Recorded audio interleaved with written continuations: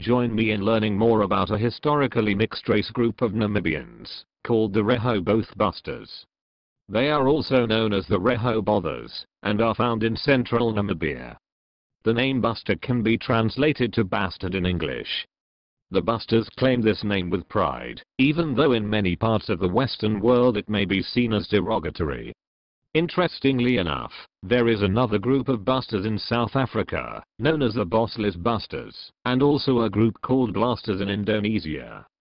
Basters are mainly descended from Dutch males, and Khoi females. However, genetic studies show minor ancestry from Southeast and South Asia. Basters also have minor ancestry from Southern African Bantu speakers. Basters are traditionally Calvinist Christians, and the town of Rehoboth boasts many beautiful Dutch-style churches, built by the Basters, ranging from the late 17th century. They were traditionally livestock and crop farmers, but these days they can be found in all professions, particularly in building, construction, carpentry, teaching and traditional dress and jewelry making. Baster dishes include rooster bread, which is bread baked on an open fire. They also enjoy potjiekos and game meat, such as ostrich and deer. Game meat is often dried, in order to turn it into biltong. Basters also make their own traditional beer, called gemma beer or ginger beer. Desserts usually include jam tarts and pumpkin fritters. It is a remarkable feat achieved by the Basters to have built such an amazing town, in a semi-arid region. The town is littered with modern and old Dutch-styled houses, and even a radio and television station. The town has many stores, a town hall, containing many historical artifacts and images of deceased kapteina, or captains. When South Africa was still controlled by the Dutch, the Basters enjoyed privileges that were not extended to other people of color. This is because they shared cultural and religious ties to white Afrikaners. Hence, basters often acted as supervisors over other servants, and were often treated as family by their employers. Many were also directly descended from the men they worked for.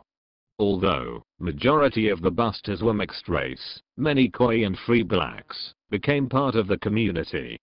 In addition, other mixed race people, who were property owners and farmers in their own right, also became members. Some basters did not identify with Cape Coloreds, as they believed they were descendants of European men and Malay, or Indonesian women.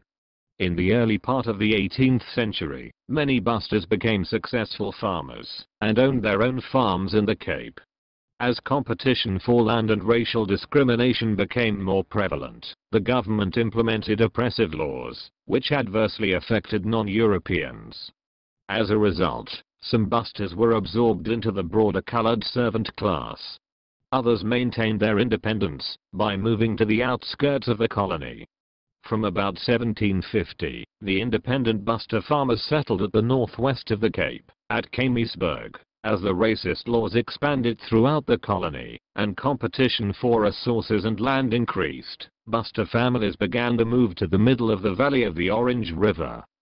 They eventually settled close to an area called De Tuin. Some Basters remained in this area and eventually became the Griqua people. In 1868 Basters left the Cape Colony, and settled in central Namibia, at Rehoboth. Here, they managed to build a strong community, complete with their own government and constitution, known as the Vaderlike Wette or paternal laws. They also had a military and an economy, based on farming and herding. Community members paid taxes and levies, to attend church, register births, deaths, and, to send their children, to school at age 7. The town elected seven elected officials, Several of these political institutions were adopted from the neighboring Khoi tribes, in particular the offices of chief, captain, and subchief, on the captain, and the annual tribal gathering. The regulation of public life depended largely on the introduction of written congregational constitutions for both Christians and non-Christian citizens. The captain was granted the powers to appoint members of a council, and together they formed the executive government of Rehoboth. The paternal laws also provided for a People's Council, Volksraad, which was elected every five years. It formed the legislature of the Rehoboth government. Basters established a community based on birth. These laws stated that any citizen is a child of a Rehoboth citizen, or a person otherwise accepted as a citizen by its rules. Families continued to join them from the Cape Colony, and the community reached about 800 by 1876. The area was also occupied by native, Damara people, but basters did not include them in population reports and they were not considered to be citizens.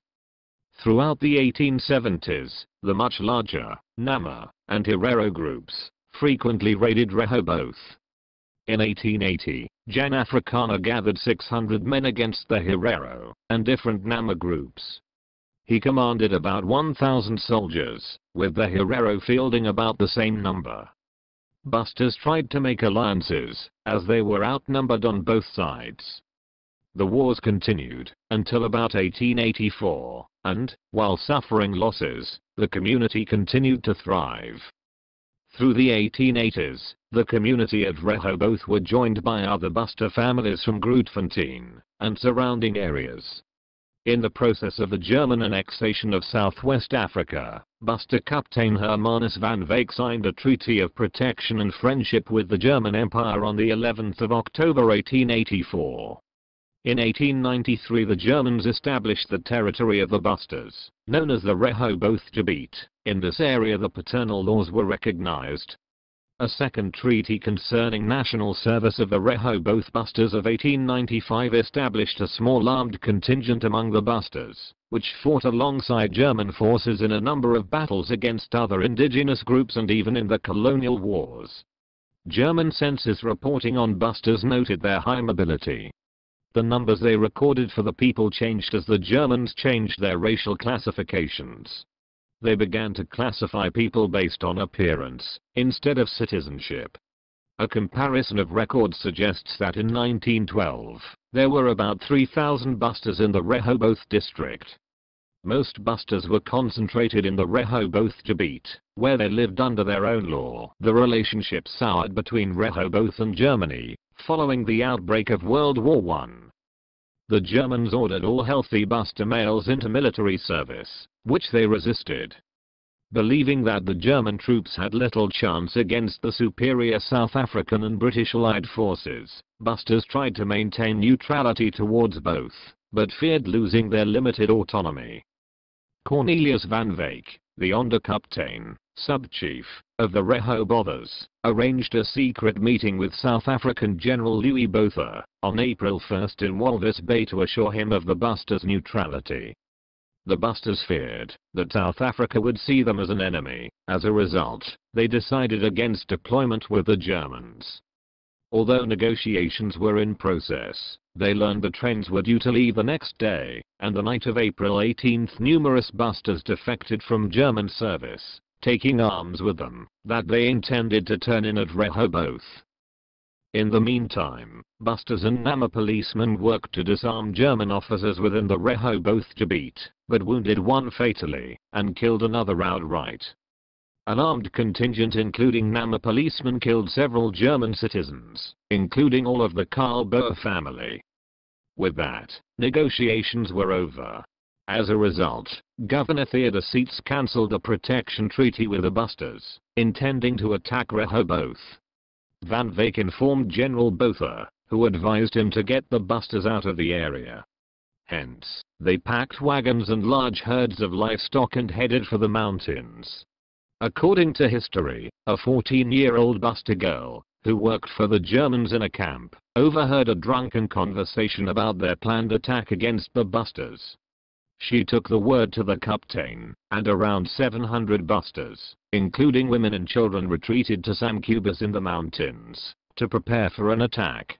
Van Wyk had hidden his family at Farm Gerries, along with the families of Stoffel, and Willem van Wyk. Stoffel's wife, two children, a daughter and a son of Cornelius van Wyk, were all killed there. The others, including Van Wyk's wife Sarah, were taken to Lutween Station, and released on May 13. On the 8th of May 1915, the Germans attacked in the Battle of Sam Khubis, where the stronghold was defended by 700 to 800 basters. Despite repeated attacks and the use of two cannons and three Maxim machine guns, the Germans were unable to destroy the basters' position. They ended the attack at sunset. At the end of the day, basters had all but run out of ammunition and expected defeat. That night they appealed to God, pledging to commemorate the day forever should they be spared. Their prayer is engraved on a memorial plaque they later installed at Sam Khubis. The Germans retreated the following day and the Rehoboth's Baster community survived.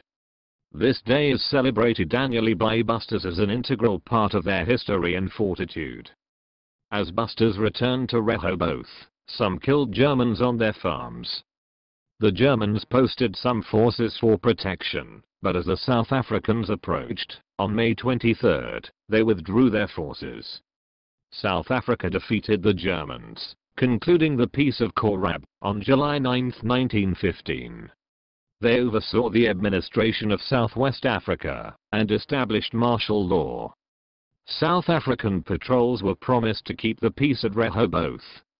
Basters tried and failed to have Rehoboth declared a British protectorate, like Basutoland. land.